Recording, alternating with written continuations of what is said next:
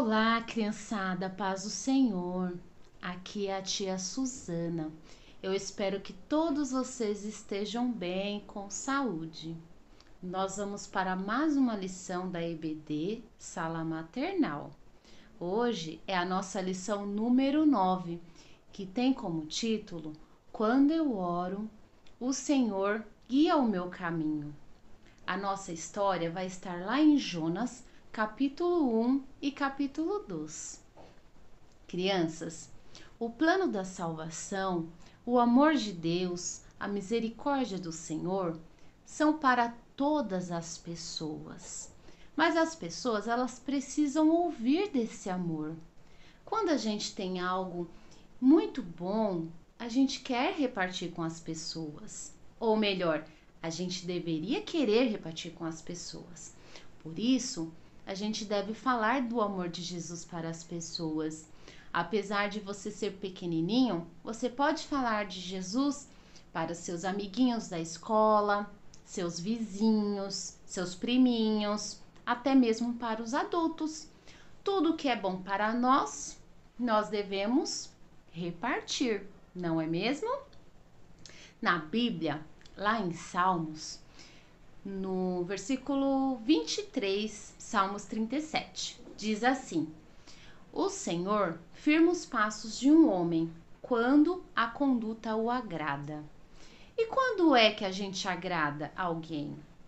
Quando é que a gente agrada a mamãe e o papai? Quando é que eles ficam felizes?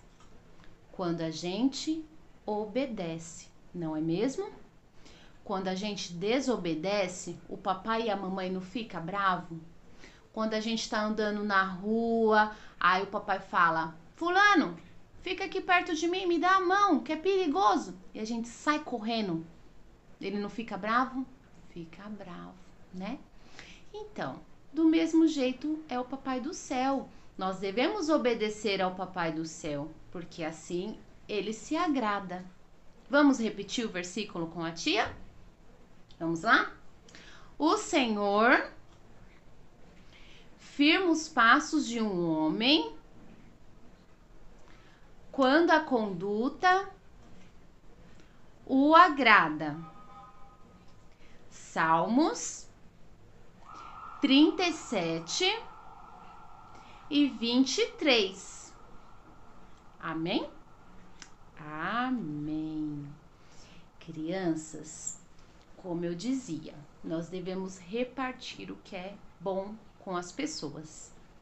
Na Bíblia, lá em Jonas capítulo 1 e capítulo 2, fala de um profeta que ele amava muito a Deus. Porém, Deus deu uma missão para ele, para ele ir até uma cidade chamada Nínive, falar do amor de Jesus.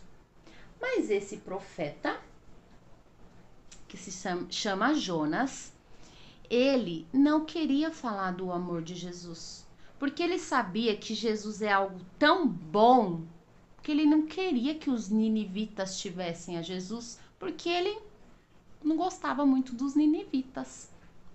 E aí Deus falou: Jonas, vai até Nínive falar do amor de Jesus para aquelas pessoas que elas precisam ser salvas. Ele falou: Eu não vou, eu vou para outro lugar. E ele desobedeceu ao Senhor. Ele entrou num barco e foi para outro lugar. E aí, sabe o que aconteceu? No meio do trajeto começou uma tempestade, porque Deus queria ensinar alguma coisa. Começou uma tempestade, era vento, era onda alta, empurrava para lá, empurrava para cá. E nesse barco não tinha somente Jonas, tinha outros marinheiros. E os marinheiros, meu Deus, o que está acontecendo? Jesus! E aí Jonas estava lá escondidinho, se ligou. É, tá acontecendo isso porque eu desobedeci. Aí Jonas falou assim para eles: Me atirem no mar que essa tempestade vai, vai acalmar. E aí eles falaram: Não, não, não, não, deve ter outro jeito, deve ter outro jeito. Não me atirem no mar, que a culpa disso tudo é minha. E aí eles atiraram Jonas no mar. Acalmou tudo, as ondas pararam. Só que Jonas ficou lá no mar. E o que, que aconteceu? Deus enviou um peixe para proteger Jonas. E o peixe engoliu a Jonas. E Jonas ficou lá dentro desse peixe grande durante três dias e três noites. E lá dentro ele teve tempo para pensar na desobediência dele, se arrepender. E falou para Deus que ele se arrependia e queria a Nínive. E Deus fez com que o peixe vomitasse Jonas lá na praia. E aí Jonas foi para a cidade de Nínive, pregou do amor de Jesus àquelas pessoas e muitas pessoas foram salvas. Não é mesmo? Legal, né, crianças? Crianças, é, nós vamos cantar um corinho, tá bom? Vocês conhecem, é da IBD esse corinho. Cristo, Cristo, bem de manhã cedo e ao meio-dia. Cristo, Cristo, sempre quando o sol se pôr, vou te obedecer, vou te obedecer, bem de manhã cedo e ao meio-dia. Vou te obedecer, vou te obedecer, sempre quando o sol se pôr. Vamos cantar comigo? Cristo, Cristo, bem de manhã cedo e ao meio-dia. Cristo, Cristo, sempre quando o sol se pôr. Vou te obedecer, vou te obedecer, bem de manhã cedo e ao meio-dia. Vou te obedecer, vou te obedecer, sempre quando o sol se pôr. Isso mesmo, crianças.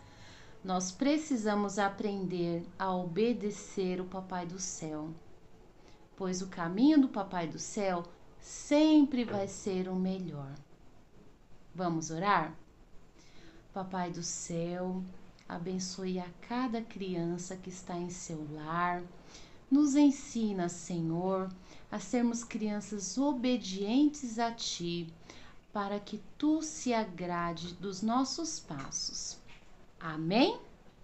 Crianças, a minha proposta para essa semana é que vocês façam um desenho bem lindo do Jonas dentro do grande peixe, tá bom? Bem caprichado. Vocês podem usar o que vocês tiverem em casa, tá? Lápis de cor, giz de cera, o que tiver em casa vocês podem utilizar. Depois manda a foto pra tia, tá bom, crianças? Que o Pai do Céu abençoe vocês. Vocês tenham uma semana muito linda e abençoada. Um grande beijo.